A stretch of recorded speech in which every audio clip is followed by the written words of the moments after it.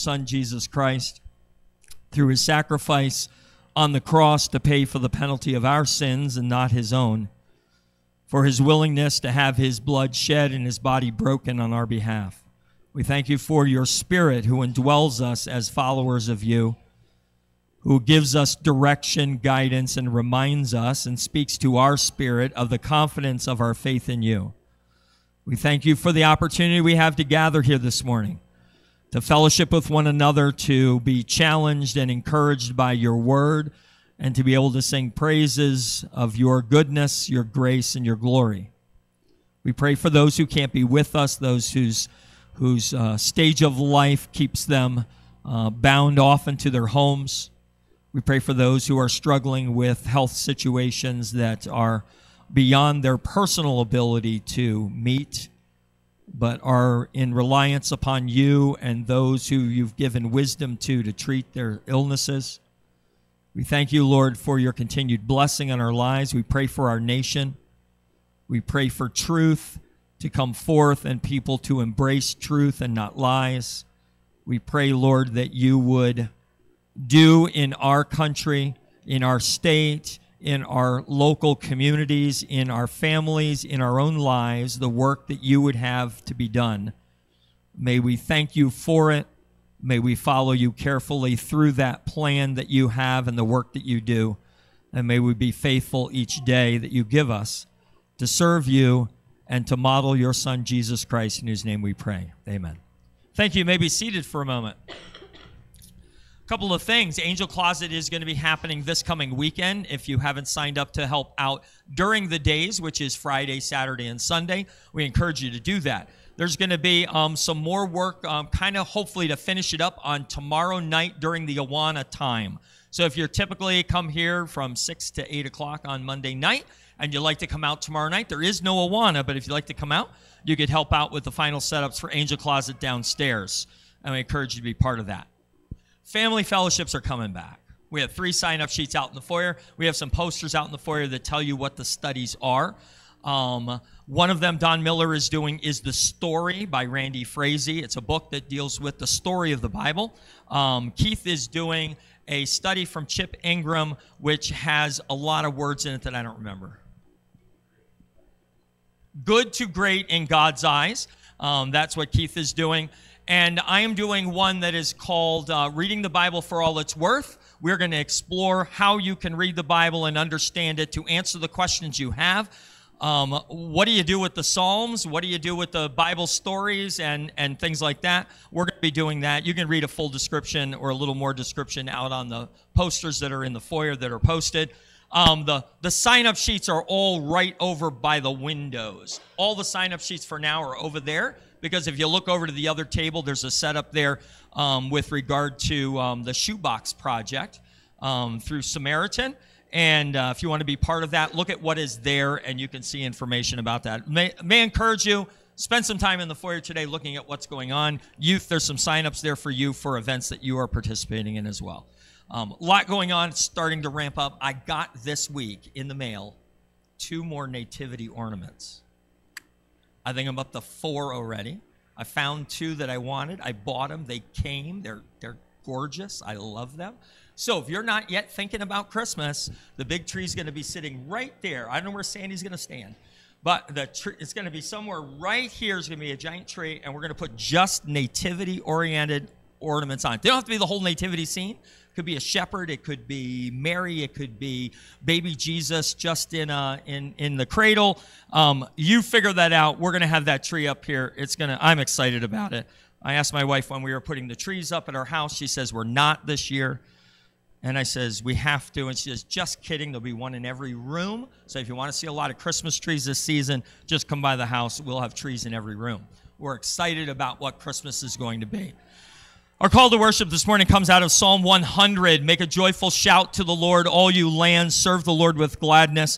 Come before his presence with singing, and that's what we're going to do. We're going to continue to sing. Let me invite you to stand with us as we sing, Come Let Us Worship and bow down. Come, let us worship and bow down. Let us kneel before the Lord our God, our Maker. Worship and bow down. Let us kneel before the Lord our God, our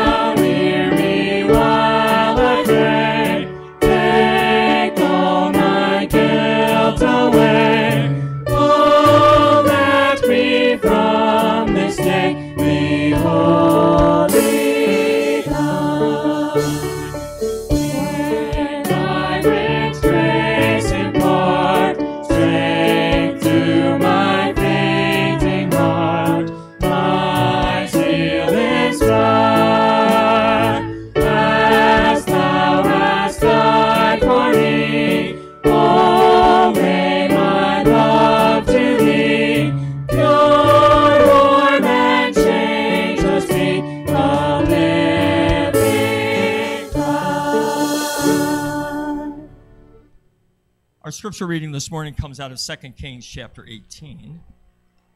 2 Kings chapter 18, the first five verses.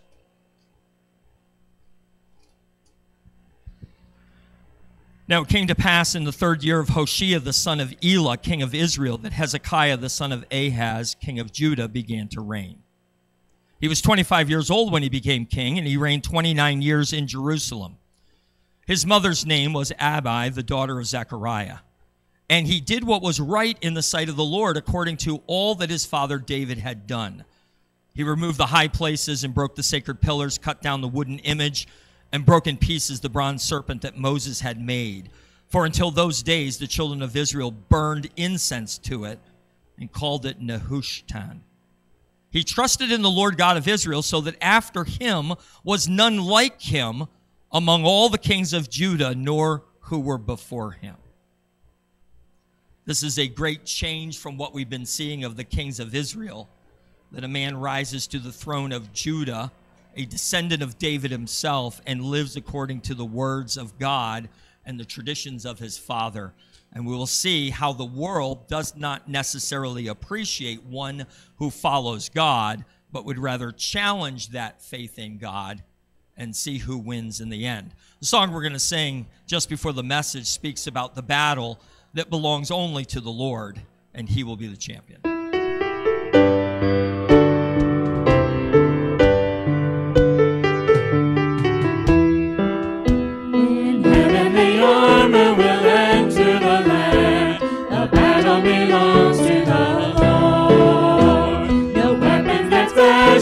Against us will stand. The battle belongs to the Lord.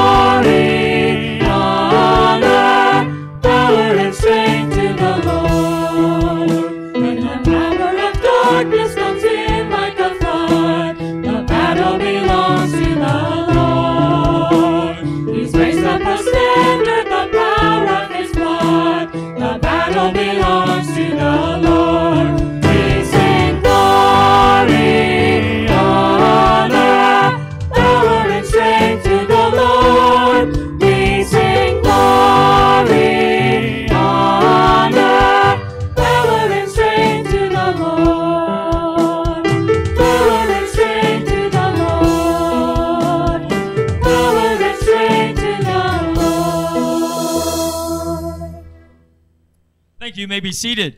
We'll invite the kids up here as we talk about who do you trust.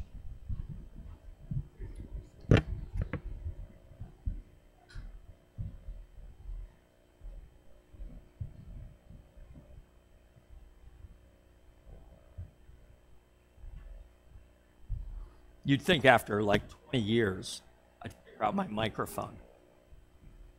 Hey, Theo, how you doing? Good? It's your it's your weekly trip to the platform. Do you ever have a weekly trip to the woodshed? Yeah. You don't even know what that means, but a bunch of us do. Take my hand there, buddy. All right.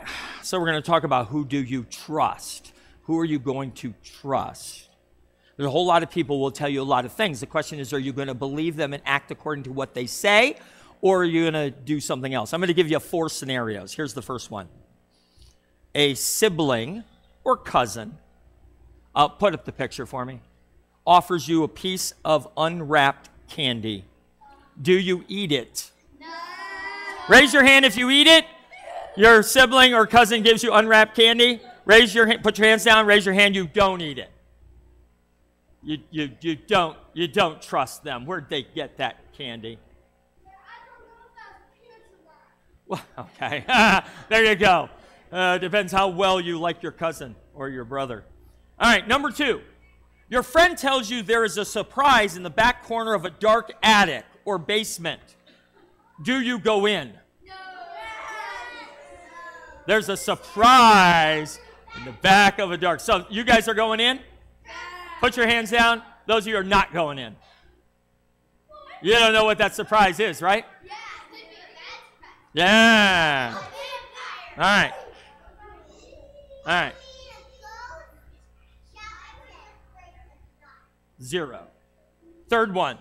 You're standing on a four foot wall and your dad tells you to jump and he will catch you. Do you jump? Do you remember doing that? We had that four foot wall in front of the house on Academy Street. We used to practice. You were like two. Come on, man, jump, jump. Did you jump? I, I, wow, I'm not catching you now. I mean, let's be honest about this. Did you do it? Would you jump? Yeah. Have you ever heard the phrase? Have you, shh, have you ever heard the phrase? If your friend tells you to jump off a bridge, are you going to do it? No. No, but if your brother tells you to, I'm all in. All right, I'll tell you sometime the story we jumped off bridges into the water. What? Yeah, 30 feet. The sign said no swimming, it said nothing about jumping. That's law, following the letter of the law, not the spirit of the law. I can show you right where it is in New Hampshire, in the national park. Here's the last one. The team you are going to play against in soccer says you don't have a chance to win, so you might as well forfeit. Do you forfeit? No. They're bigger, they're stronger, they're faster. They have all big kids, and you guys are all puny. Do you forfeit? Who do you trust? Do you trust them to say they're going to whoop you, or do you trust your coach who says, hey, you got this? You going to trust the coach? Okay. Yeah, you trust your coach? Excellent. What if your dad gives you a different instruction? Who are you going to trust? Oh, the coach. So your dad has to become the coach. That's what I did because I wanted to tell my kids what to do in track. So I became the coach so I could tell them what to do. Let me tell you about the Bible. Let me tell you about the kingdom of Assyria. Put the picture up for me there. So, the kingdom of Assyria had been conquering everything. They conquered the whole northern kingdom, took them away captive, crushed all their cities. Now they're putting their eyes on Judah, the southern kingdom, where Hezekiah is king. They've come down and they've conquered 40 cities. And now they send a great army to Jerusalem and surround the city and send some representatives to talk to the representatives of Hezekiah. Hezekiah, obviously, as king, is not going to the wall, but he sends a few trusted advisors to the wall, and the people who represent the king of Assyria, Sennacherib, shout out to the leaders of Jerusalem, of Judah, the representatives of the king, and says, Who are you going to trust? Who are you going to trust? Hezekiah is dismantling your worship of God. Who are you going to trust? Has any God ever stood against Assyria and our gods? We have destroyed everybody. Who are you going to trust? And at the end of the conversation, the representatives of Hezekiah go back to Hezekiah. They tear their clothes because they are afraid and they are worried. Who are you going to trust? We're going to talk about that in the morning message this morning. Those who are going to Children's Church can go. There's outlines up there if you'd like.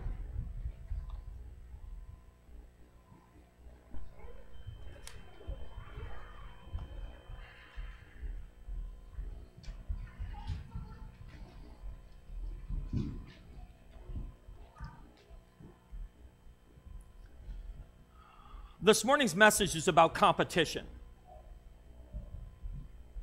I titled it The Battle of the Gods. The world loves to compete. As we think about our own desires of, of life, we love to choose a side, and often when we choose that side, we dig in, and people can't move us from that.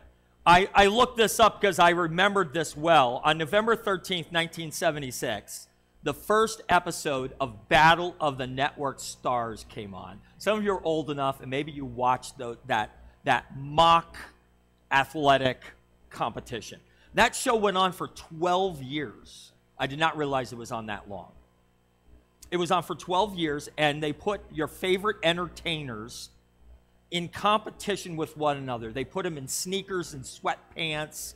If you remember what the 70s and the early 80s were like, I mean, the clothing we wore for athleticism was quite horrendous, quite embarrassing, quite foolish, but they paraded their athletic talents. So you saw your, your favorite uh, female stars in sitcoms against the movie stars over here. And they, they, did, they did events on the track that involved running, they rode bikes, they even did tug of war. I mean, they did outlandish, crazy things.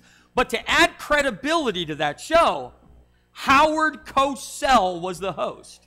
Howard Cosell, the voice of Monday Night Football, one of the most respected um, uh, reporters on sports in the world, did all the great boxing matches.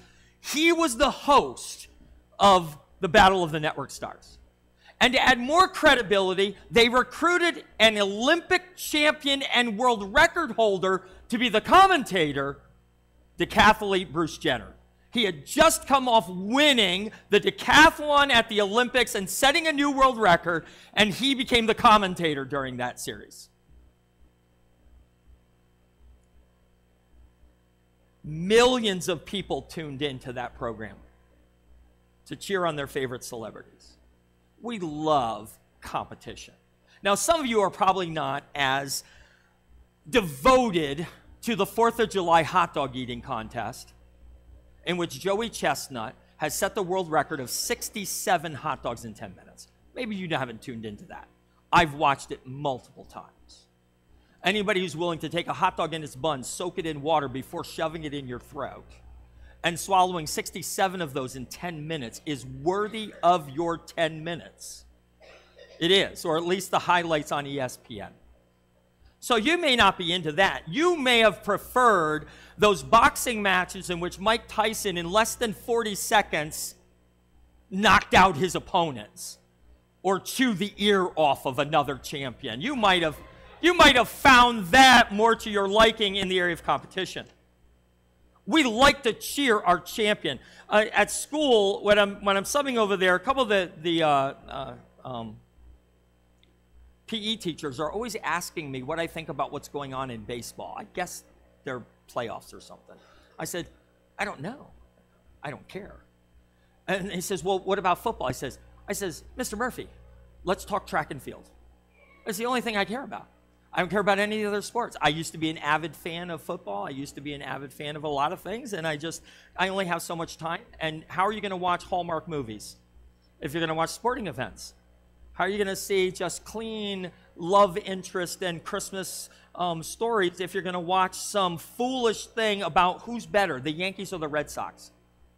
Now, some of you are new to the church and you didn't know Gretchen McDaniel, who was here, but I was a Red Sox fan having grown up in New England, and she was not. She was a Yankee fan. And anytime the Red Sox could beat the Yankees, I always mentioned it to Gretchen. Anytime the Yankees were winning, I just ignored her. I don't know whether you prefer Pepsi over Coke. I don't, I don't know if you prefer Android over iPhone. I don't know if you prefer, I shouldn't even say this, Ford versus Chevy. Maybe it's Tesla versus uh, everybody else. I don't know. Cars have changed. Most competitions are friendly, aren't they? Some get a little more serious. Most competitions concern our preferences, right? Sometimes it involves our core beliefs on a national level, the battle between truths and culture can become eminently violent and last for years. There was a, there was a guy on, a, on an interview this last week who is, in some degree, opposed to Israel as a nation. And they asked him, Why are you so adamantly opposed to a national Israel? He says, I don't think any nation should be built on ethnicity or religion. And that was his definition because Israel, in his mind, is a nation that's been built on a single ethnic group and on a single religion. When you talk about those kind of things on a national level, things can become quite heated. Uh, the, the, the tribalism that occurs in Eastern Europe and Africa is not solved by erecting national boundaries the winner of such battles over culture and truth often declare the superiority of their position once they win. By winning, I have proven that my beliefs, my truths, My culture is superior because I won.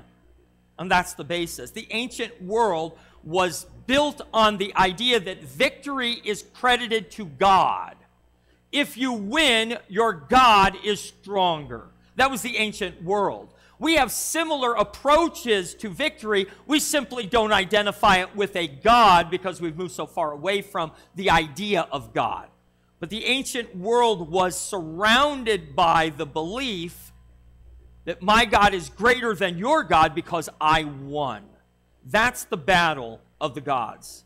When Assyria defeated Israel, and carried the people away into captivity, the Assyrians considered their gods greater than the God of Israel.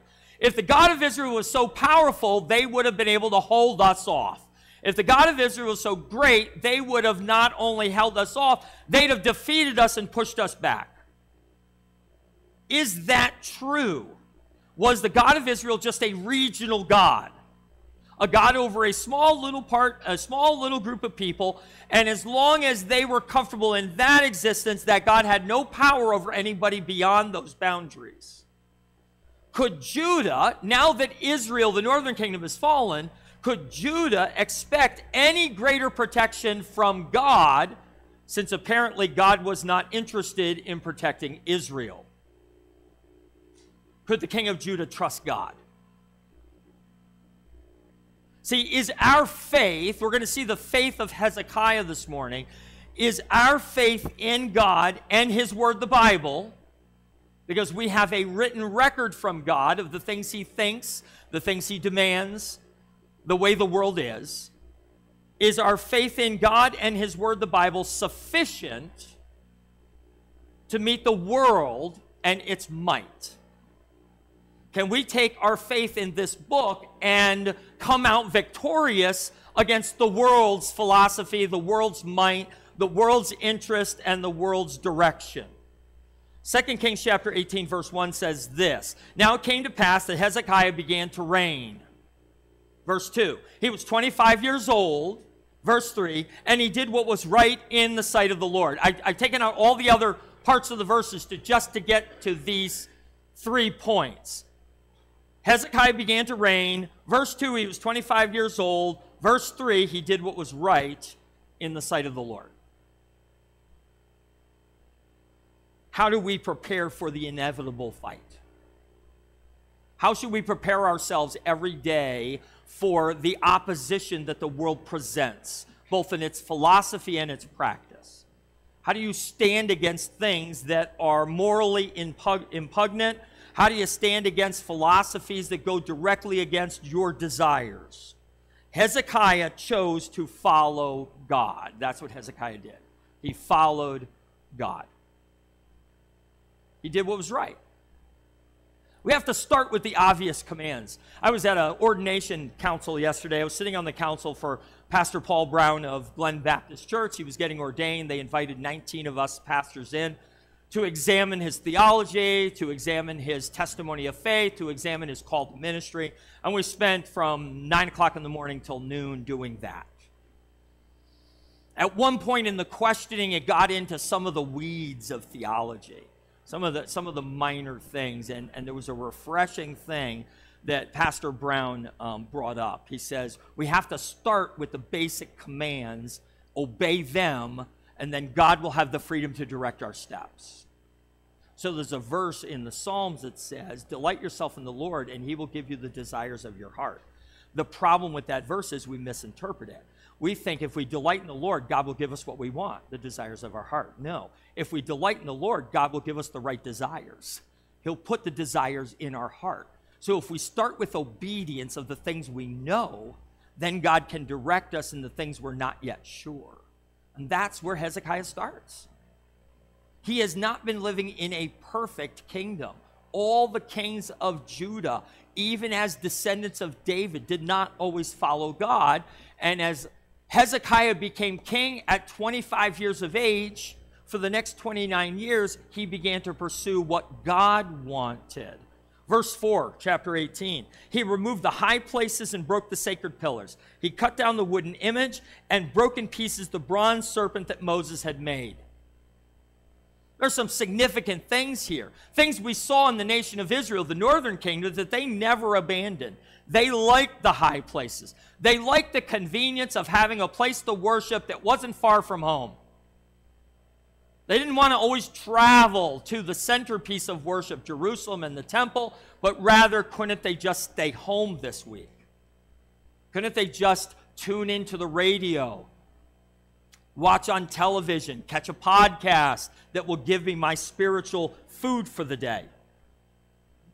He removed those high places. He broke down those sacred pillars, those actual images they had constructed to give them their sense that this was a place of worship. It's not enough to have a location, but you need something that shows you it's worship. Vicki and I were in a small town in Italy on the coast. We did this tour where we took the train from one small fishing village to the next. And I think it was the second village we visited that, that day on that trip. And down at the base, it was always a rocky hillside, and the, and the village was built on the hillside, but down at the base would be the harbor. And down at the harbor was a church. And we wandered into that church. And I was never more impressed by a small, humble little church that had a crucifix with Jesus on the cross. Bear with me. Jesus on the cross and carved by hand and standing about this high on a small table. Now, I understand that Jesus is not on the cross, but as I walked in there, it just so starkly reminded me that Jesus was on the cross. And sometimes we miss that image that Jesus was on the cross for us. That it's not just a symbol like we have here, the empty cross, the price is paid, but actually a person hung on that and died on that.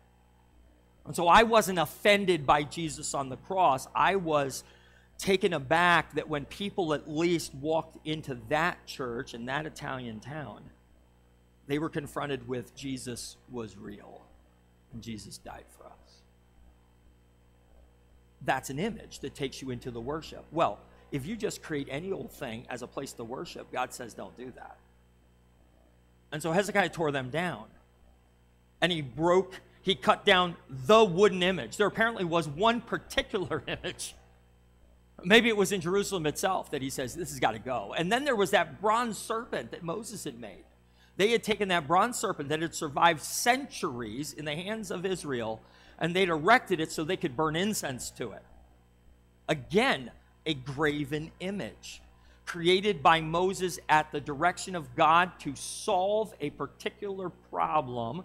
The people had rejected God as their leader, and they needed a symbol to draw them back and to save them from the snakes, the serpents that had risen up to bite and kill them.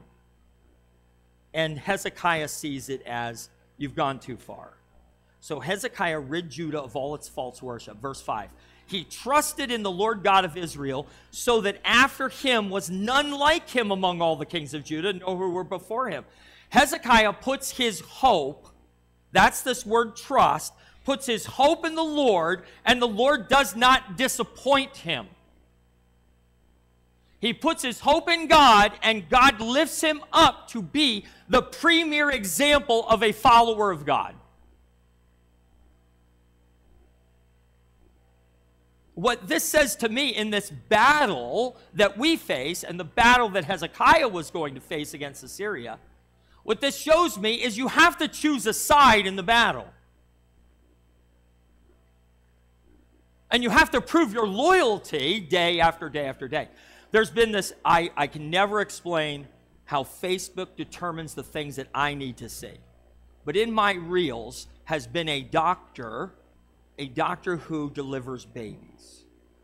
And these reels have been this doctor videotaped as he resuscitates baby after baby after baby who is struggling to breathe on their own after birth. I mean, I, am watching this one. And, and so I, I paused it to see how long the video was. The video was three and a half minutes long, and I'm going, I don't know if I can watch three and a half minutes of a baby not yet breathing. And he is, he is putting an airbag on the baby and pumping. He is rubbing the baby in certain places on its body. And I'm watching, and I've seen like four of these videos now. And I'm going, at some point, you got to choose your side on babies, right? And life. Mean, at some point, you got to choose your side. This doctor putting these videos out is probably not real popular. And I even looked at a few of the comments and I said, I can't look at these comments because there's comments there that are criticizing him for resuscitating a baby who's not yet breathing at birth.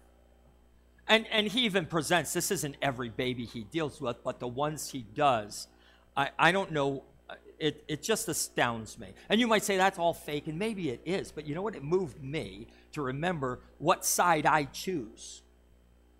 And God says here through Hezekiah, he chose the side of the Lord. Verse 6 For he held fast to the Lord, he did not depart from following him. How much pressure might there be if you decide to do a great reformation of your nation? If you decide to make a rule that everybody has to tear down their high places and their pillars, and he's going to get rid of the bronze serpent, and he's going to, I mean, what would the up, what would the pushback be? You know, you might be king, but you won't always be king.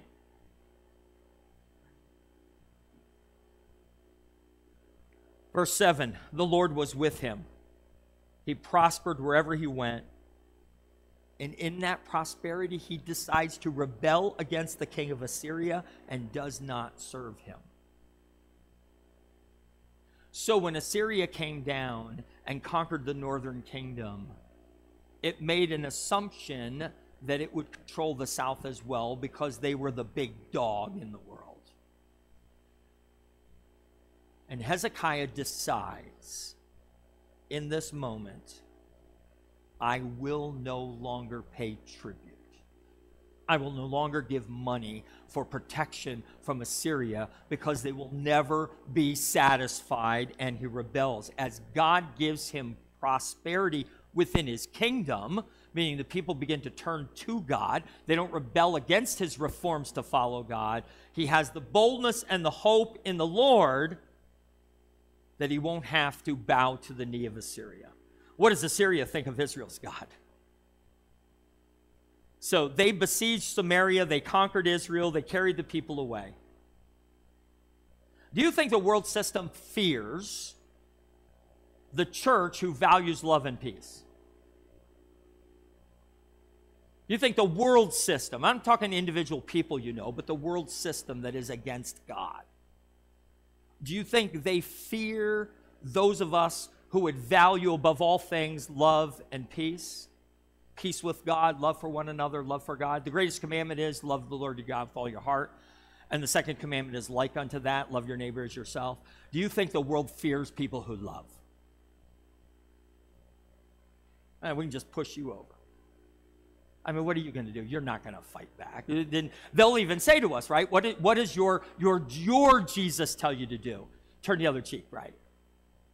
Just, just accept what's going on. What does Assyria think? Assyria turns their eyes on Judah and King Hezekiah. Verse 13, 2 Kings 18.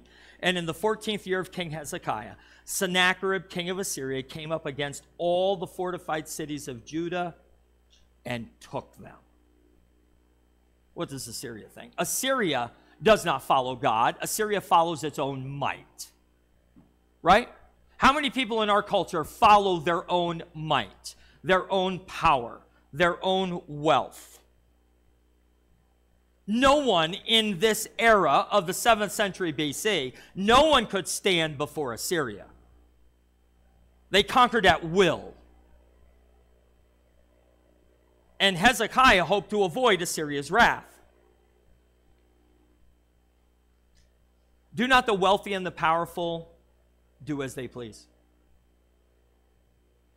I mean, don't we see that in the, in, the, in the present world, whether it's our nation or other nations? The people who are wealthy, the people who are powerful, however you define their power, their power might be wrapped up in their wealth, their power might be wrapped up in political um, and other concerns, but don't they think they can do as they please. We see it unraveling in our own nation. People who, for a long time, were very powerful, did as they please, and now things are coming out and it seems to be unraveling. Verse 14, chapter 18 Then Hezekiah, king of Judah, sent to the king of Assyria at Lachish, saying, I have done wrong, turn away from me, whatever you impose on me, I will pay. Now he offers to pay some more tribute. So now he's been, to some degree, intimidated.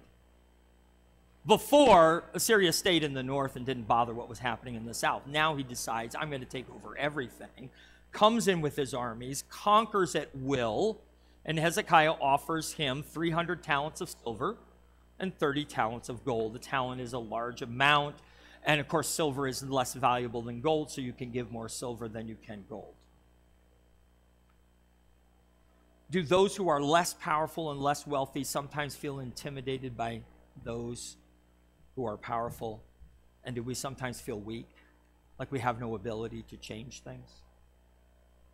If a person can throw $100 million at something, how is that going to, how are you going to overcome that? If a government says they want your land and they have this legal system behind them to take your land, are you really going to be able to fight that? Here's Hezekiah trying to buy his way out of trouble. So he strips the gold from the temple. Remember, he's reestablished worship at the temple. Now he strips the gold of the temple and takes all of the silver from the entire treasury. Everything that's in the temple that's silver, everything that's in the treasury is silver. He needs 300 talents. He's basically giving a one time payment of all the wealth he has. Would that be enough? Would that be enough to satisfy Assyria? Would Assyria turn around, go back to its own nation, and leave Judah alone? Well, it says in verse 17 Then the king of Assyria sent two people, Tartan and the Rabshakeh, with a great army against Jerusalem to King Hezekiah. He actually sends an army directly to the city and sends two representatives. The one man is named Tartan, the other has the title of the Rabshakeh. I don't know if this would be the, the, the head of the State Department or an ambassador, who these would be. One might be a military leader, one might be, a, might be a, a, a political leader. But Assyria sends its great army to Jerusalem. So imagine, imagine our Secretary of State and, um, and our ambassador to a certain nation um, set an appointment to meet with the president, the king of another nation. And as they arrive, they come with three battalions of Marines. Three battalions. And all the things that go with that. And they land at the airport and the king or the president or the prime minister was there to meet our representatives from our nation, and they're confronted by 2,000 soldiers fully armed. Oh, would you think they're seeking peace? Would America be demonstrating that we are coming in peace? So if you go to Colonial Williamsburg and you go into the palace of the governor, as you walk into the foyer of the palace, it's this, this circular room that is covered in weaponry rifles with bayonets and swords. And they're real, and they were real. And the point of it was when you entered into the palace of the governor, the governor who was sent by the king of England to be the governor of the colony of Virginia, you need to understand who had the power. Who has the power? The guy with the weapons. And so when the revolution was starting to form, one of the first things that they did in Williamsburg was the governor confiscated all the weapons from the armory that were the weapons for the militia and took them all, having his own cache of weapons so that there couldn't be a rebellion. Assyria shows up with an army, not for negotiation, but for intimidation. Is Assyria satisfied with what they received? Are the rich and powerful in our world ever satisfied? There's a great, there's the famous quote of John D. Rockefeller, the first, the man who controlled 10% of the gross domestic product of America at one point. They asked him, How much more do you need? And his answer was, A little more. I need a little more. 2 Kings chapter 18, verse 18. And when they had called to the king, the king is not going to be on the wall, but they're going to call to the messengers of the king who are going to relate directly what is said. Verse 19 The Rabshakeh said to them, Say now to Hezekiah, Thus says the great king, the king of Assyria, What confidence is this in which you trust? You stop paying tribute. Now all of a sudden you think you can throw a bunch of money at us. Who do you think you are trusting? So Assyria dismisses Israel's God. Verse 20.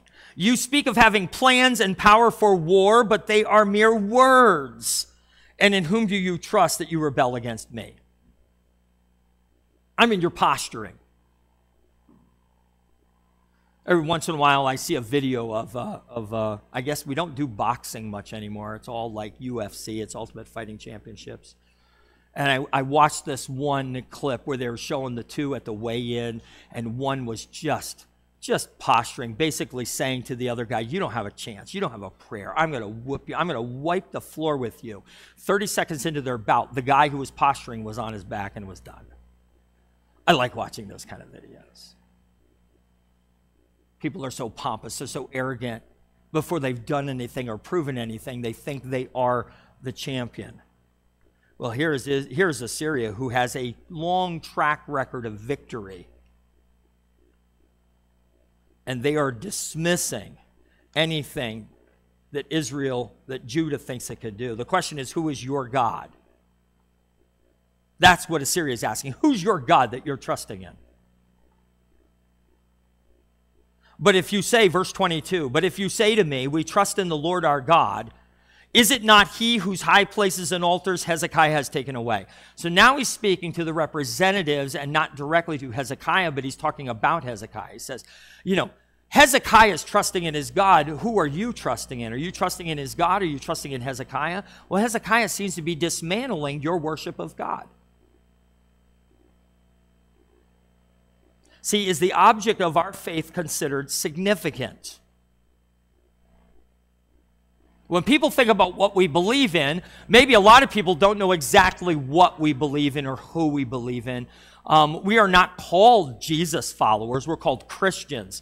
Christians has moved a long way from being Christ followers in people's understanding. They just go, Christianity is this like big religion.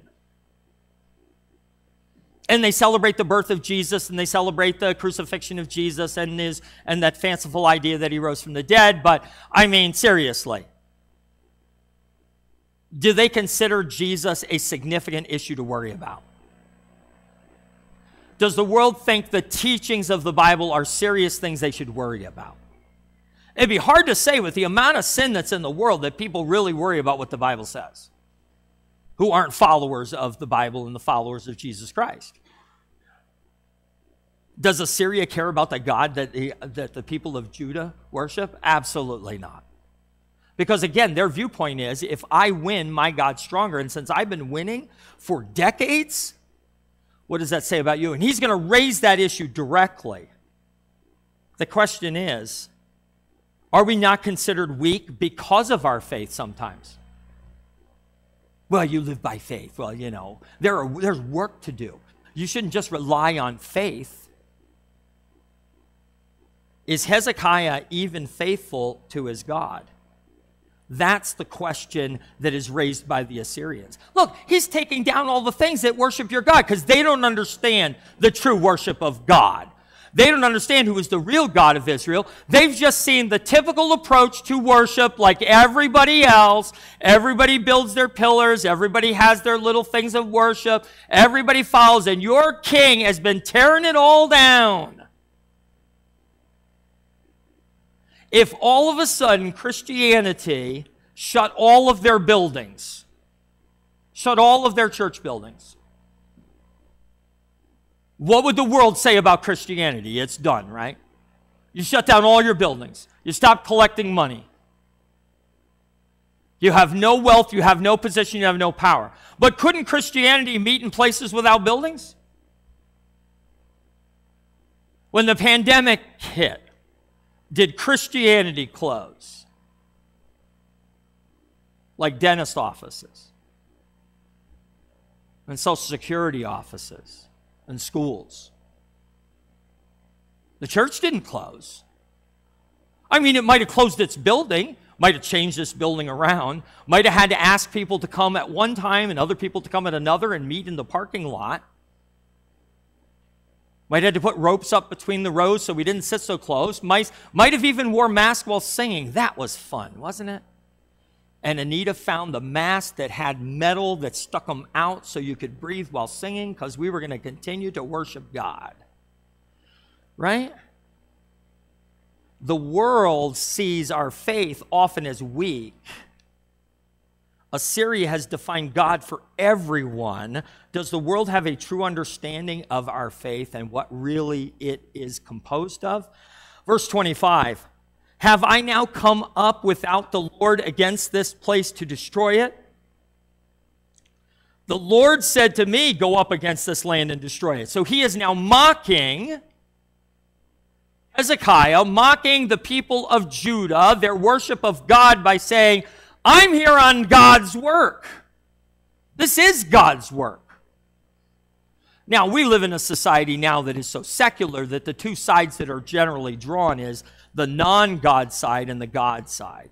There are people who are secular completely to their core who claim they're still part of religion but don't ever act as if they are. I, I hope you'll grant me that truth.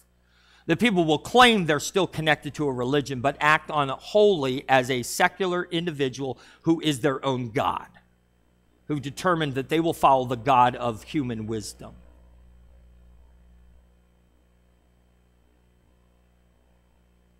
And here is Sennacherib's representatives basically saying, Our God has sent me to destroy you. It is my God who's in charge. For the secular humanists of our society, their belief is they are the God and the, lear- and, the, and the understanding and wisdom that they bring to the table is far superior to any ancient, fanciful book. I mean, you're trusting in stories of miracles that are ridiculous, impossible, and make no sense. And we are the purveyors of science and education and philosophy.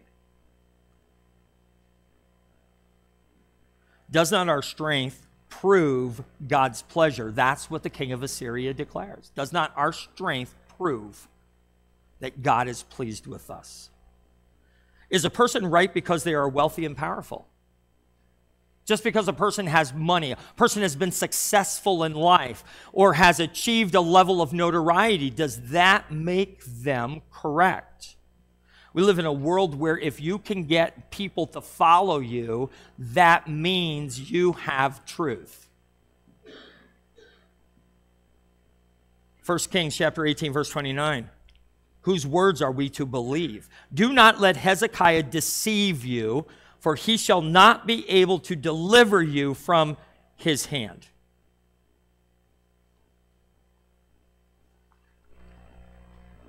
verse 30 nor let hezekiah make you trust in the lord saying the lord will surely deliver us. The city shall not be given into the hand of the king of assyria.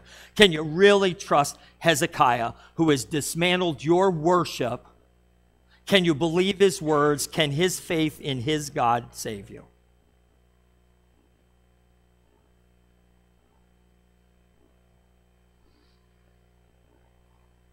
the tragedy in Christianity so often is that Christianity is led by men who are flawed, men who are still bound in sin, men who, who stray from the path. And when one of those men get exposed for the, the weakness of their own life, the organization, the church, the philosophy, the truth gets dismantled with them. Who among us can say we are not hypocritical at one level or another, including every person of every stripe of belief? And yet, in a moment of challenge, the world will look at any weakness or any failure and say, Can you trust the words you have been reading? Can you trust the people you have been following? Can you trust the people who you gather with regularly? 2 Kings 18:32. They continue this theme. But do not listen to Hezekiah lest he persuade you saying the Lord will deliver us. Can any God save you? Here is what Assyria is saying, and think about this in our own lives. Assyria is saying this Are you ready to accept our premise about God? Are you willing to accept our premise about God? The world would say, Are you willing to accept our premise about life, our premise about origins, our premise about history? Are you willing to accept our premise about gender? Are you willing to accept our premise about love and marriage and relationship? Are you willing to accept? So, Christianity often says, let's not get into a fight over those issues. That's a surrender to some degree, is it not? to not say where you stand, to not say what you believe, when directly presented by the opposing values to your own, is to surrender or at least give that person the impression that you have surrendered to their premise of life and sexuality and and the pursuit of prosperity and strength. 2 Kings 18:33 Has any of the gods of the nations at all delivered its, la- its land from the hand of the king of Assyria? I mean, let's look at the track record. Everybody has lost to us. Verse 35 Who among all the gods of the lands have delivered their countries from my hand, that the Lord, talking of your God, should deliver Jerusalem from my hand? I mean, seriously. We, we have, we've won the battles.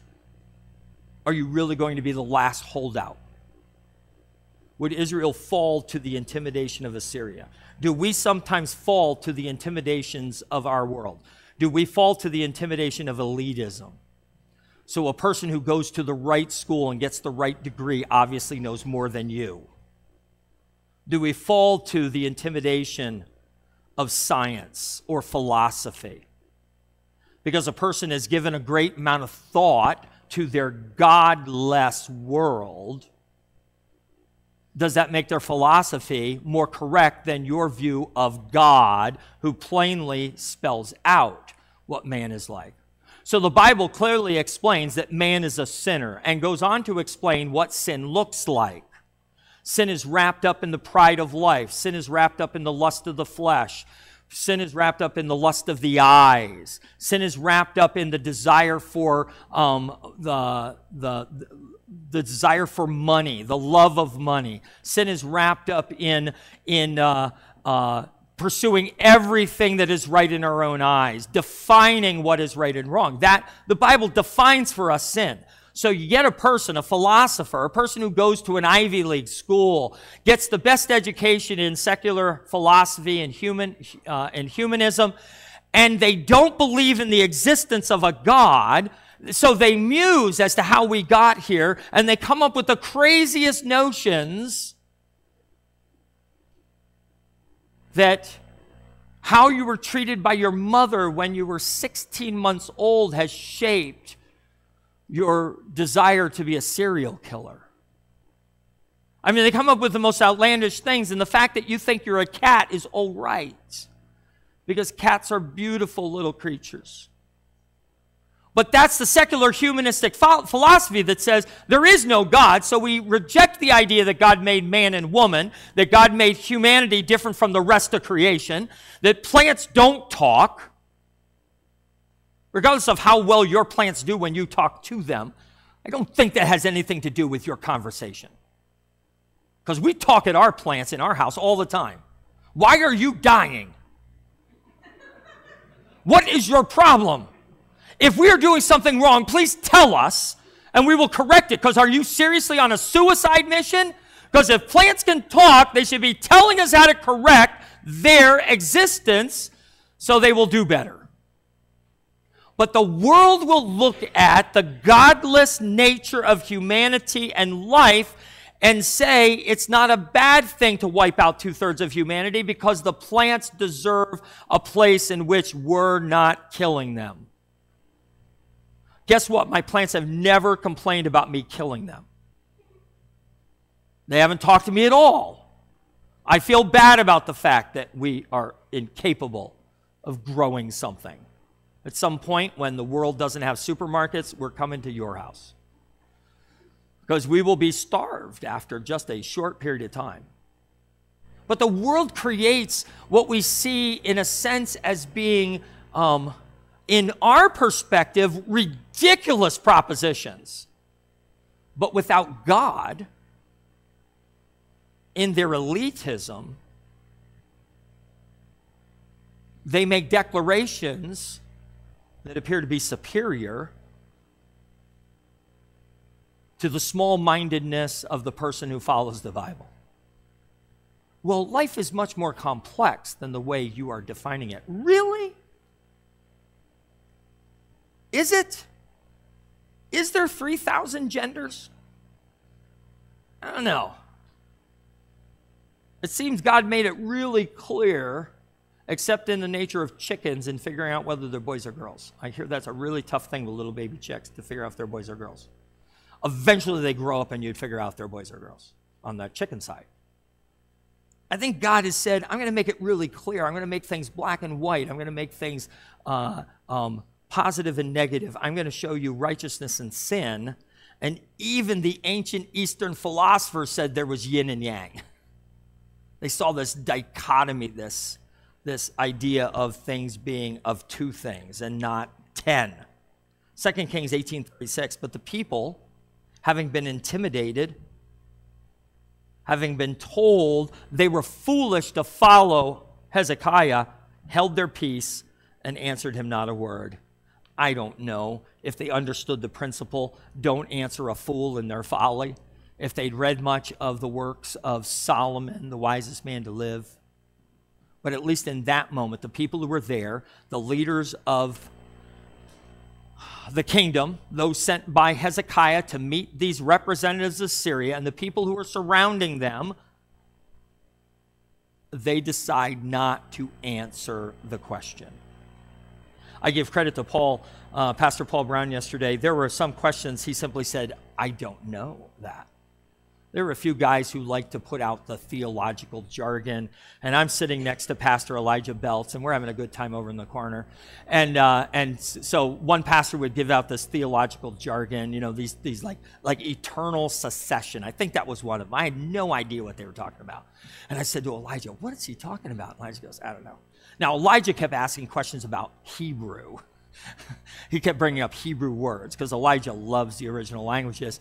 And, and this guy apparently loves the theological terminology. And at some points, Pastor Brown just says, I don't know what that is. And I wanted to say, neither do I. And so I would ask a question in plain English. I tried to use words that were, you know, common vocabulary and asked, Do you think the Bible teaches A, B, C, and D? I wanted to see where he was because I hadn't seen that in the paper. It was an expansion of the truth. And he'd go, and, and he picked up pretty quick, Pastor Brown did, to say yes. I was not trying to trick him. I was trying to say, Have you thought about this application of Scripture as being valid for the point you're making? And he would say, Yes. But sometimes he'd say, I don't know. Here, the people are looking at this intimidating presentation of the power of the Assyrian gods over their God, and they decide to say, I don't know. I'm not going to say anything. What do they say? Keep your mouth shut and let people think you're intelligent? Open your mouth and prove the opposite? I always open my mouth. I have no problem with that. 2 Kings chapter 18, verse 37 were they confident in their silence. So then Eliakim, Shebna, and Joah, these are the three who were sent, came to Hezekiah with their clothes torn, and they told him the words of the Rabshakeh. Silence doesn't mean you're not still afraid.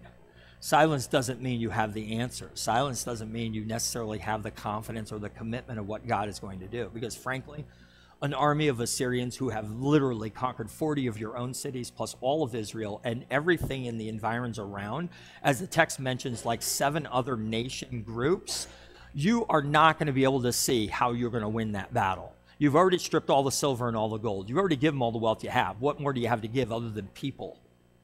Give them people. They took all the people of the northern kingdom for the most part, took them all to their country, make them servants, make them slaves.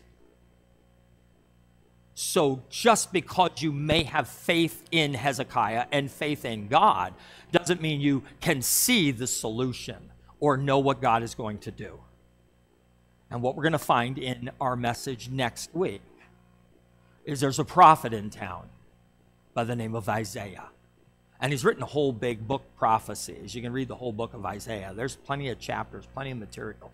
But here in the life of Hezekiah, Isaiah comes in because Hezekiah needs to know some specifics from God. Sometimes we want to have specifics from God, and we'll see that next week how Hezekiah pursues that. But understand this we are living in a battle. It has been a battle since the garden. It has not stopped at any moment anywhere in the world where there are those who oppose God and there are those who follow God, and we're in a battle, and we need to understand what the battle lines are. We need to understand whether we are going to know what God thinks, and if we know what God thinks, have we confirmed it with our study of the scriptures? And are we willing to stand on the things that we know are clear? We're not going to have an answer for every nuance of every question about life but we can be clear on an awful lot. And we can stand on those things that we're clear on, and that will give us the guidance for all those other smaller tributaries of challenge. So that over time, we understand a bit more of God, God's Word, and God's intention for our life.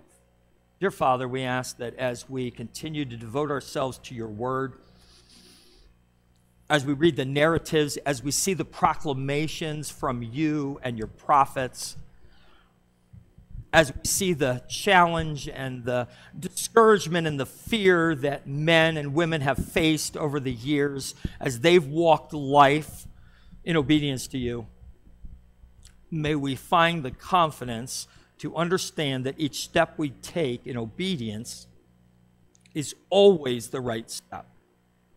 And we need not fear that we are out of line with your desire, and that any things that come at us from sides, in front, or behind may just be an opportunity for us to live that truth more pointedly in front of others so they are confronted with you. May we be a an honest and a clear and a forthright representative of your Son, Jesus Christ, who has saved us, who has paid for our sin, to whom we have committed our lives and our service. May we be a good representative of that in a world that is populated by many people who dismiss your very existence. And we pray this in Christ's name. Amen. Let me invite you to stand as we sing of our God.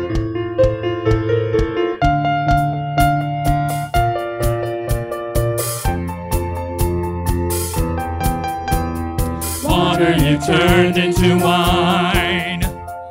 Open the eyes of the blind. There's no one like you.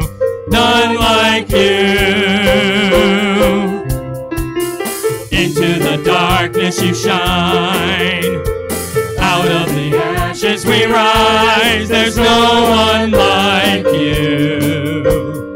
None like you. Is greater, our God is stronger. God, you are higher than any other. Our God is healer, awesome in power. Our God our God.